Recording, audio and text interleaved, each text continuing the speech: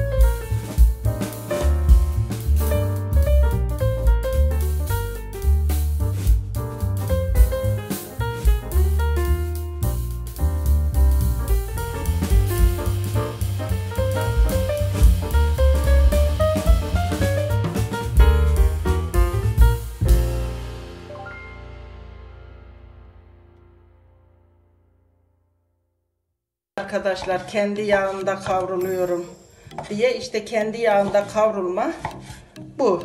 Kendi yağıyla kavrulan et de çok lezzetli ve çok yumuşak olur.